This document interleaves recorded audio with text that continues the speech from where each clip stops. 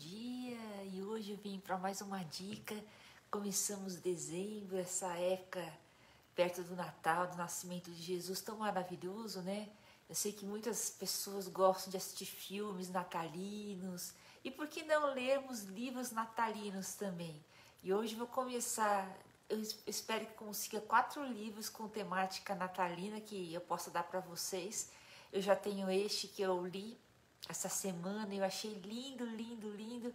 É um livro infantil, mas serve para nós, pessoas adultas também, porque tem uma mensagem extremamente linda. É da autora do Harry Potter, ela lançou um livro chamado Jack e o Porquinho de Natal. Tem digital também. Jack e o Porquinho de Natal. Antes da de cada capítulo tem uma imagem assim bem bonitinha, né? Mas não é um livro de imagens só, é um livro de histórias, que nem o Harry Potter, tá? São livros, é um livro de história. E ela começa contando, eu achei maravilhoso e me mexeu muito comigo essa história. Uh, era uma família, a mãe, o pai e o menino Jack, e ele tinha um bichinho de pelúcia que era um porquinho. E ele gostava de dormir com um porquinho, ele era bem criança, né? Tinha menos de quatro anos. E tudo que ele fazia, ele contava para esse amigo dele, né, o porquinho.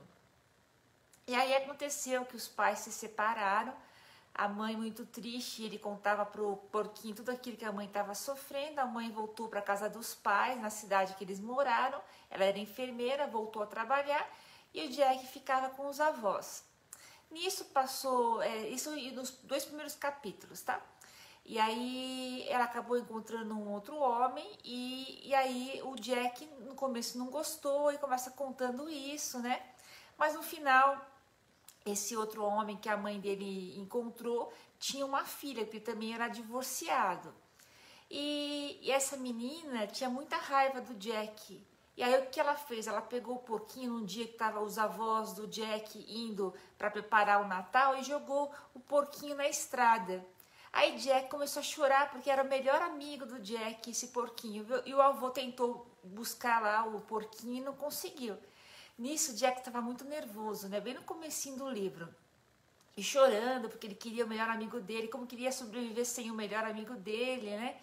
E conta que aí o avô e a menina, assim, chateada porque ela tinha feito isso, ela se arrependeu, comprou um porquinho igualzinho, mas não era o, o ele chamava de OP, o porquinho dele, o porquinho chamava OP.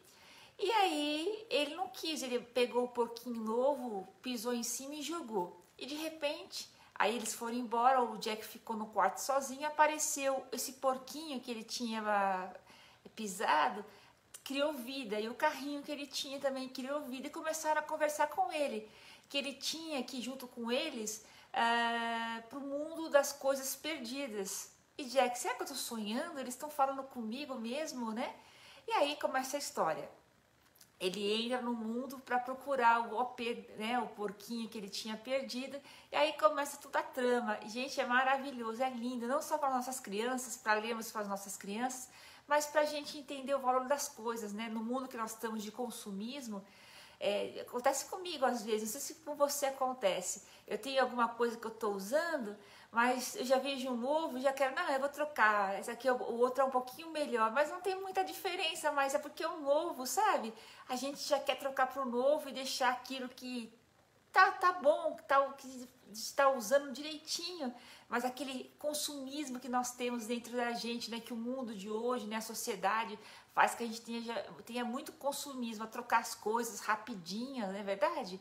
E esse livro é maravilhoso, que mostra tantas coisas de amizade, é, de família e disso também, né, de parar com o consumismo e dar valor com o que nós temos, né, porque tem todo um modo de dizer assim, um sentimento, né, o bichinho tinha um sentimento, é lindo, gente, tá aqui, tem livro digital e livro físico, tá bom? Eu comprei na, tem na Amazon, o Jack e o Porquinho de Natal, da, da Rowling, a autora do Harry Potter, lançamento, e vai fazer muito sucesso. Tenho certeza que vão até fazer filme desse livro, porque realmente é maravilhoso.